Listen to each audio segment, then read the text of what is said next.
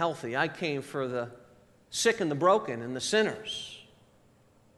And oh, by the way, who among you does not fit into that category? Or religious leader.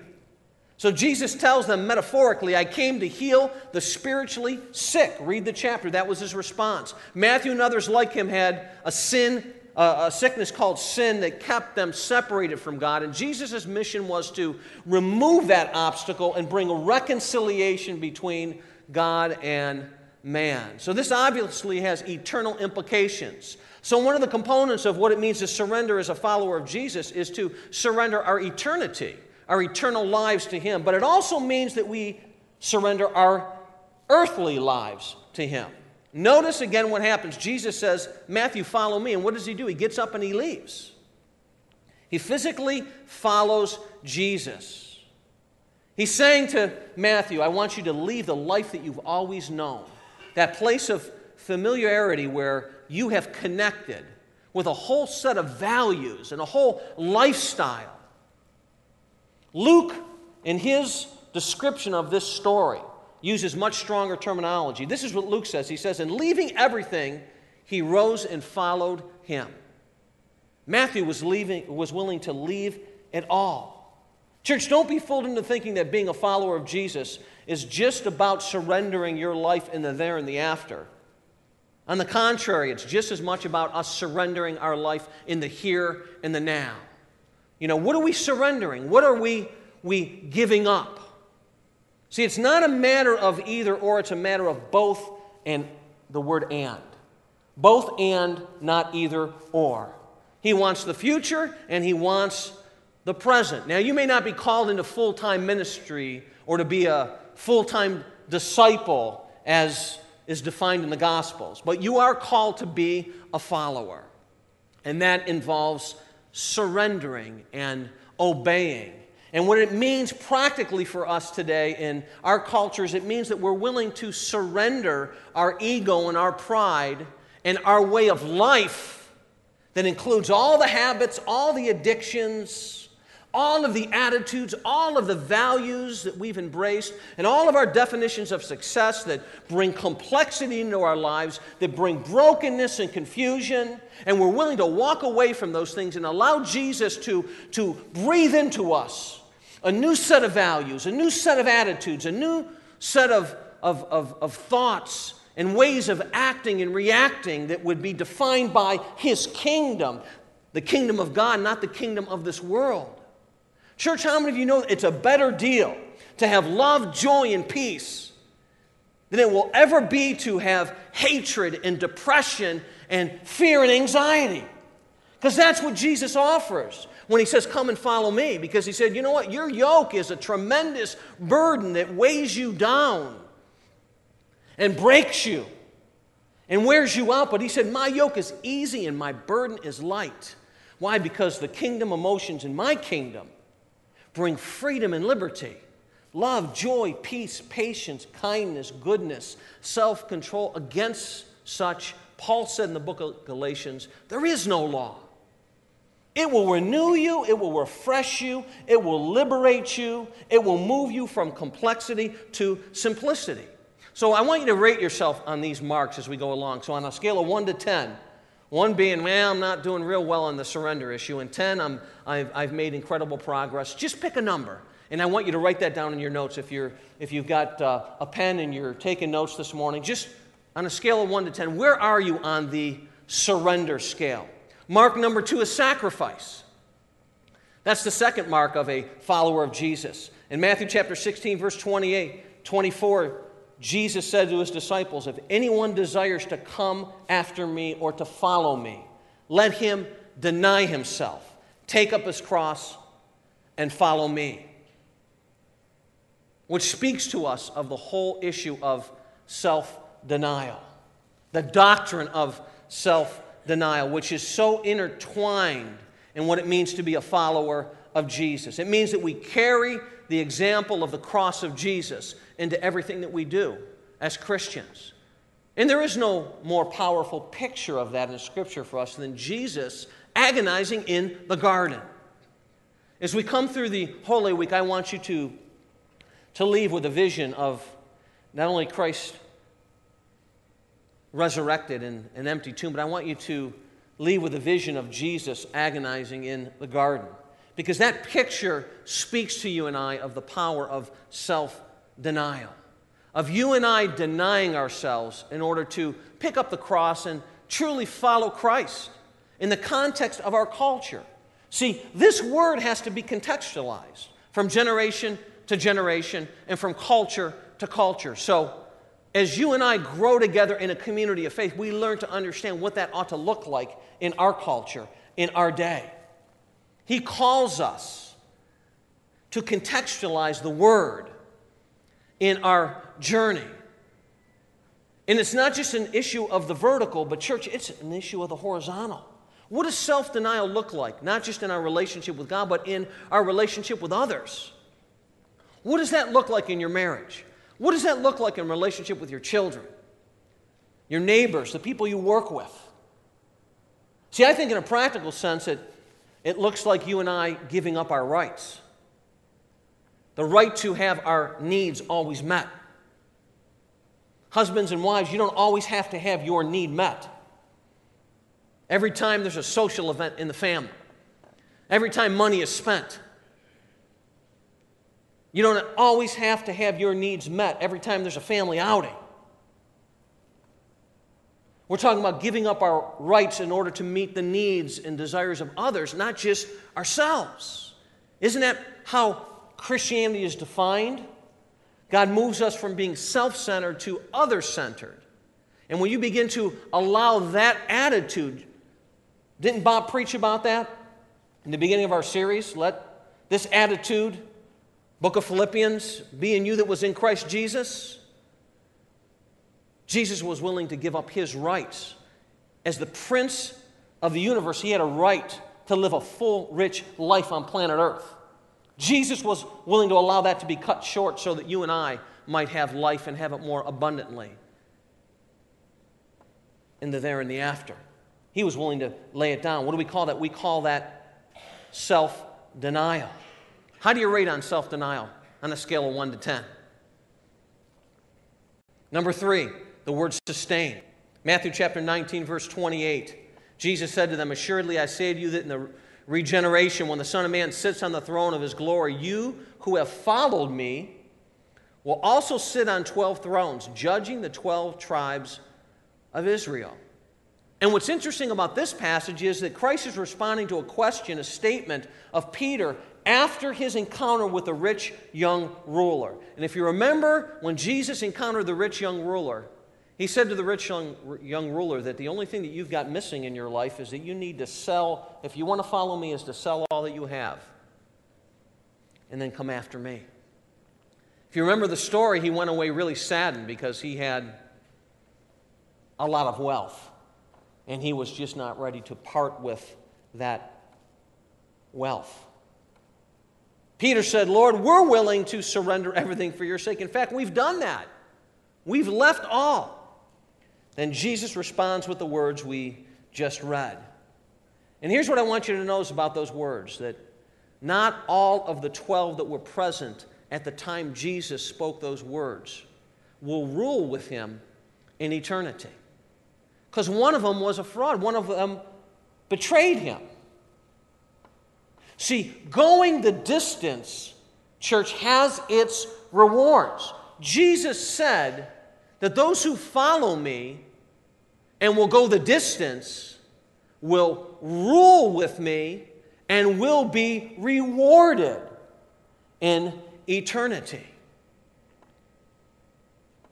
And evidently, one of the followers had not truly surrendered Thus, he had no staying power. What are we talking about? We're talking about the marks of a follower. See, followers don't just start the race, they finish the race. They understand what it means to go the distance. In order to rule and be rewarded, you have to endure all the seasons of life and life's journey to hear Jesus say, Well done, thy good and thy faithful servant. How many of you want to hear that when you come into eternity? Enter into the joy of the Lord. That's what Jesus said in the Olivet Discourse when he's talking about the end times. He also said in that same response to the questions the disciples asked him about the end of the age, he said, It's he that endures to the end that shall be saved. In other words, starting is just not enough. Having staying power to endure the ups and the downs, the mountaintops, the valleys, the brokenness, the misfortune, the tragic mistakes we make that complicate our lives and we endure to the end. Jesus said, Then you will rule and you will reign with me. Rate yourself on your staying power on a scale of 1 to 10. What are we talking about? We're talking about the sustainability of our commitment to Jesus. It's not a one time commitment, it is an ongoing commitment. So when things don't go our way and things don't work out the way we expected, and there's brokenness and misfortune, do we walk away? Do we take our hand out of his hand or do we tighten our grip?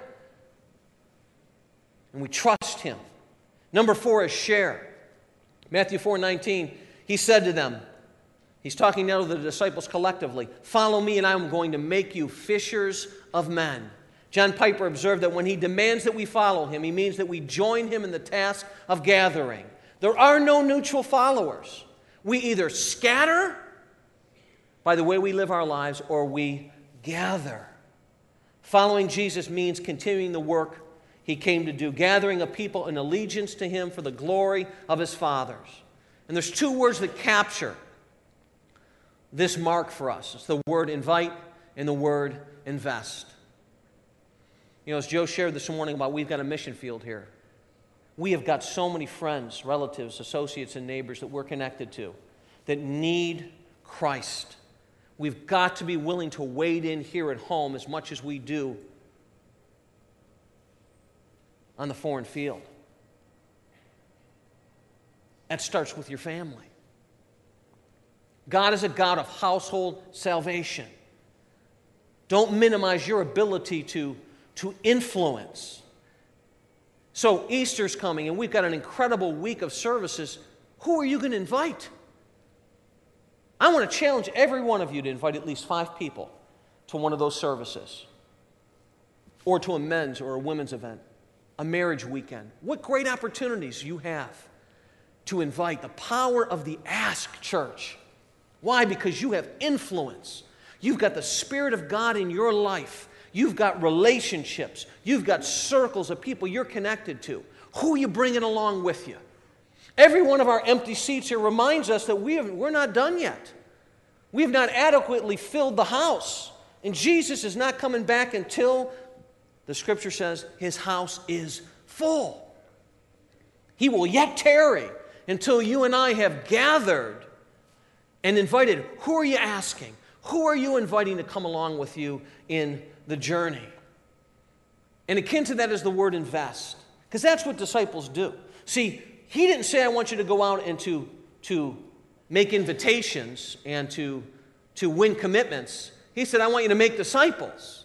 And disciples are only made when somebody invests in their lives, like we saw in our video this morning. There was an investment that was made in that young man's life. There was energy and time being invested so that he would be able to become a reproducing member of the body of Christ as a disciple who would invest in others. So, you know, there's a book that came out recently, not too long ago. It's really a powerful tool for investment. I, I want to encourage you to consider this. It's called The Stranger on the Road to Emmaus by John Cross. Great tool for what we call investment.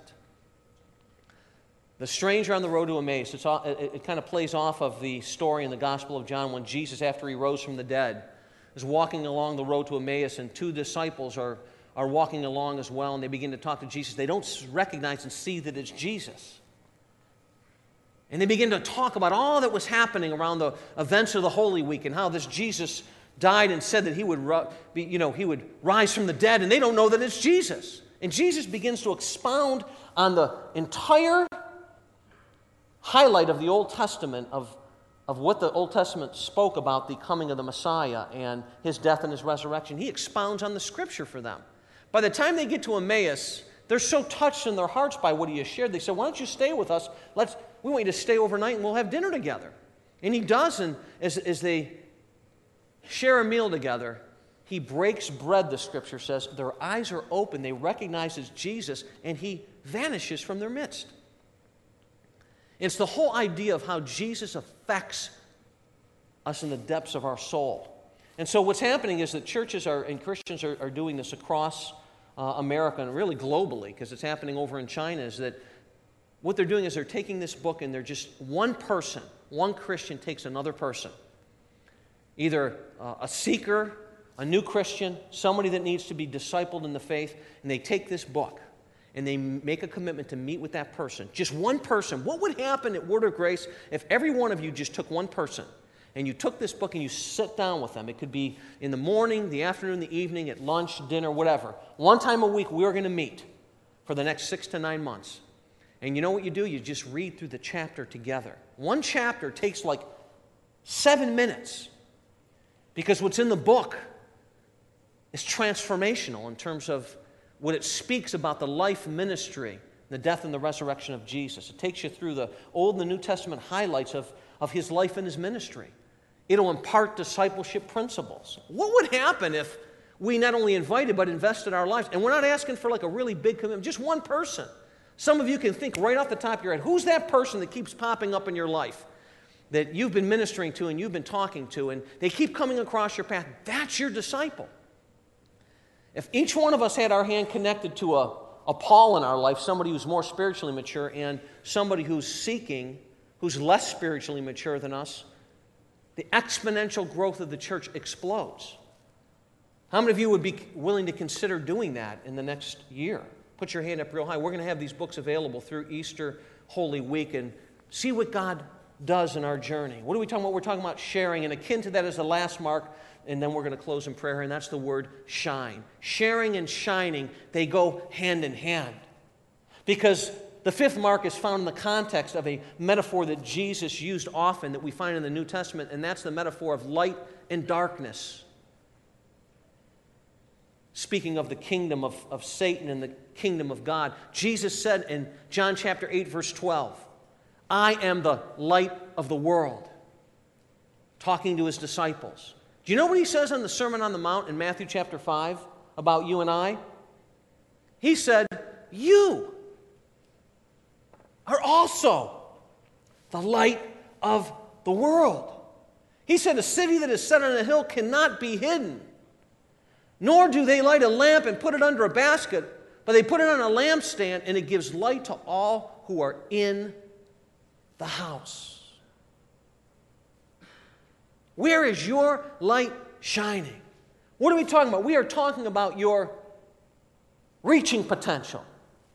We're talking about your influence, your witness. 1984, I graduated from